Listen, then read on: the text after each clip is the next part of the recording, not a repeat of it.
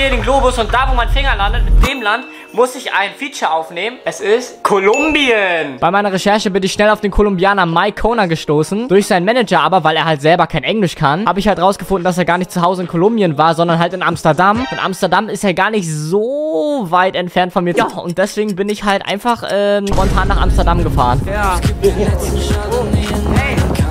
Seine Unterkunft war dann irgendwie so ein cooles Boot. Auf dem Boot hat er seinen Part aufgenommen und das kam dabei raus. Gib mir was zum Ziehen. Baby, baby, somos jóvenes crazy, crazy, subiendo como el trading, trading, solo pensamos en disfrutarnos. Cuando cae la luna, tratamos de despertar, pero tenemos nublada la mente.